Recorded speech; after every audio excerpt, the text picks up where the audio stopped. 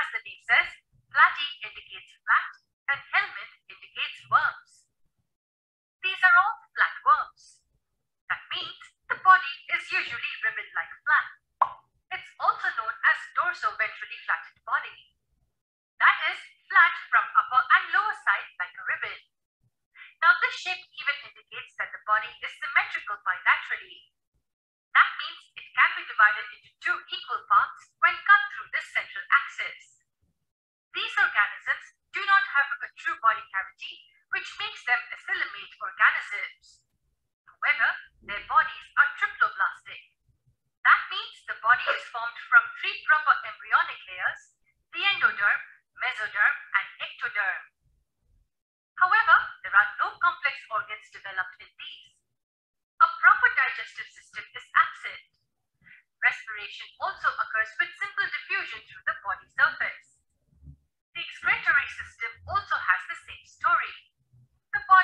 Not have any specialized excretory organ. Rather, the system has specialized cells called the flame cells which perform excretion. Now, how do you think these organisms reproduce? Any idea? Well, these organisms reproduce sexually. In some cases, which are hermaphrodites, fusion of gametes occurs within the same body. Whatever the case is, fertilization is always internal. Any guesses where are these organisms found? Most of them are parasitic that's found in the body of the target host. Of this type include liver fluke. Some of them are free-living and found mostly in marine or freshwater habitat. Planaria is the most common example of this type. Just like these flatworms, we've even found roundworms which are found in various habitats. Are these different from the flatworms? Not much, but slightly. That is the reason why they studied usually in succession to understand them better. A few days after returning party, Zara started complaining about a severe stomachache.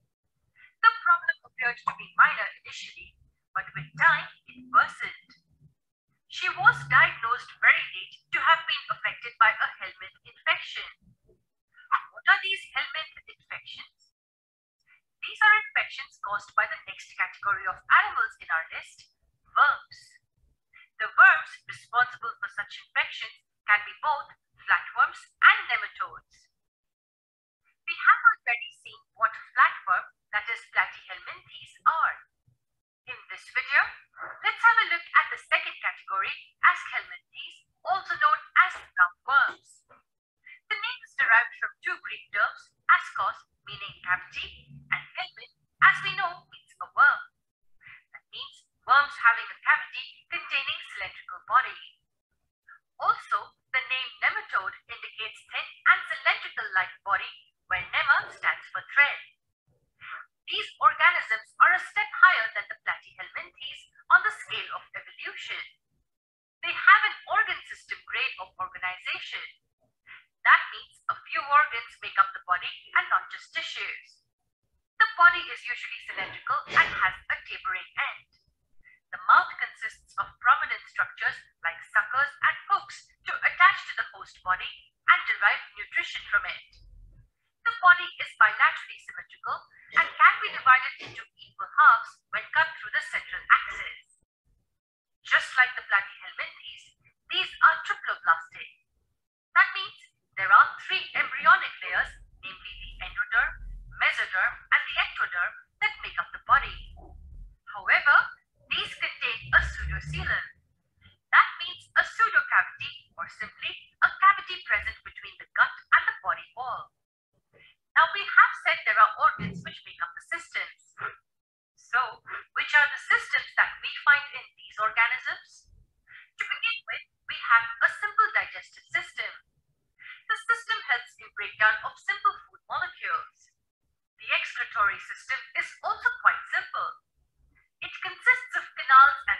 called the protonephridia.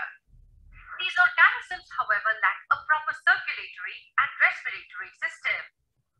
These processes occur via simple diffusion. No properly developed organs are present for these systems, and the nervous system is poorly developed. Now comes another important system, the reproductive system.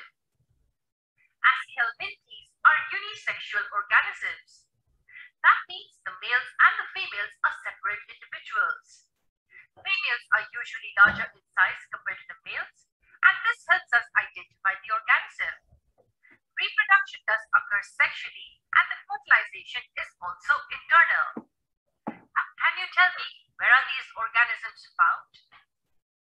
These are very rarely found in marine or freshwater habitats. Most of them are usually endoparasites. That means host organism. Ascaris, Wuchereria, and many others make up the complete category. Are earthworms also an example of